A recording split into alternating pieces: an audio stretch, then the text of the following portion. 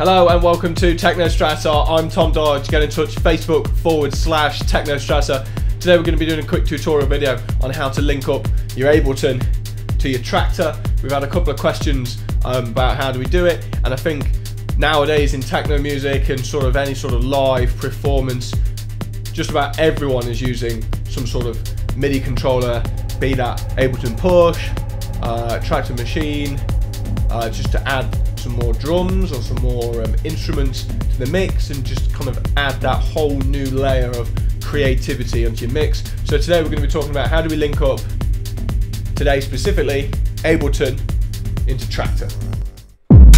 Okay, so here we are in uh, Traktor, and as you can see, we've got track playing on deck one, and we've got the full Traktor UI open. So over there, we're on extended, so we can see as much information as possible. What we need to do first is make sure that there's a actual MIDI signal being sent. So we go into settings, and we just make sure that send MIDI clock is ticked. What that will do is that will mean Traktor will start trying to send out a MIDI signal. Um, we now need to tell it to send out a virtual MIDI signal because we haven't got any cables.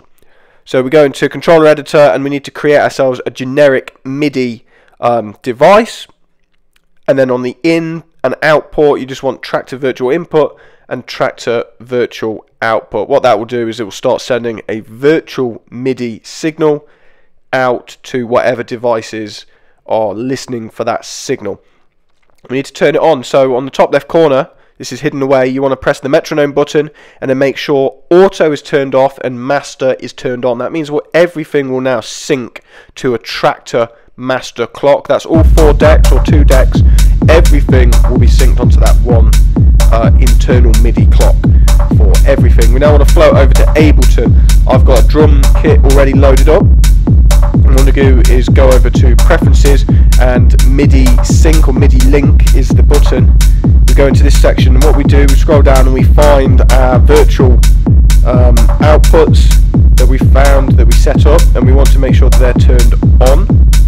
That will mean that Ableton is now actively listening out for those MIDI signals. And you can actually see on the top left there is a flickering light. That means that one MIDI signal is coming in. We want to click EXT which means it is now um, listening for an external device.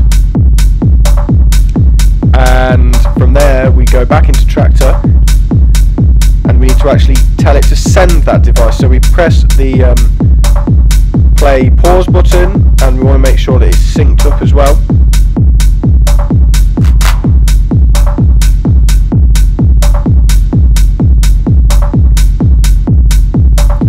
And now we can see that the two lights are now flashing in sync. That means that the send and um, Ableton signals are now like synchronized. And now when I lay up these drums on the Ableton push they're now synced in with the track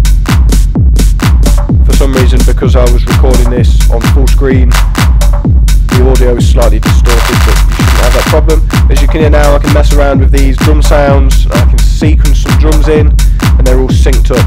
If you were to lose the beat so I've tried to put it off by one beat there you can just stop the MIDI that should stop all the sound and then just press play again or press sync to try and uh, it will try and automatically resync sometimes I find with the play pause button you, if you hold down the button and then release it on the beat that sometimes is the better way of getting it into time um, but overall that is kind of how you sync up your MIDI Traktor in Ableton And that's it for um, our tutorial today. Any questions, leave it in the comments below. Don't forget to subscribe and Facebook forward slash TechnoStrasse. I'll see you next time.